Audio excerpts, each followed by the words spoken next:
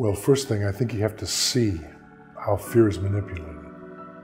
You know, how fear, whether we're talking about, you know, the the uh, the weather forecast that says horrible weather news, more at eight.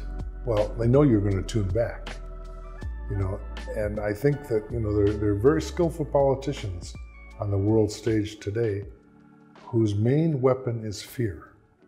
It's convincing people that uh, the other, whatever the other may be, is a mortal enemy. That's also essential if you want to do bad things to people. You have to take away their face, you have to take away their humanity.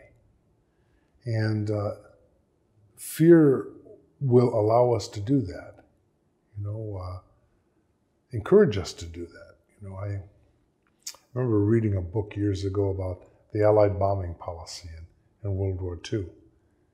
And um, the author pointed out that when the United States entered the war, they had very strict limits on their bombardments. They were going to bomb military targets.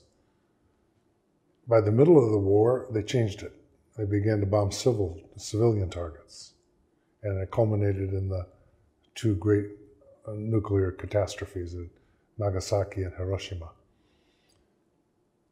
In order to do that, they had to change the propaganda to do their best to dehumanize the Japanese and the Germans, to make them other than human beings. Because generally, most people, unless you're a sociopath, don't like to harm people on, uh, without reason.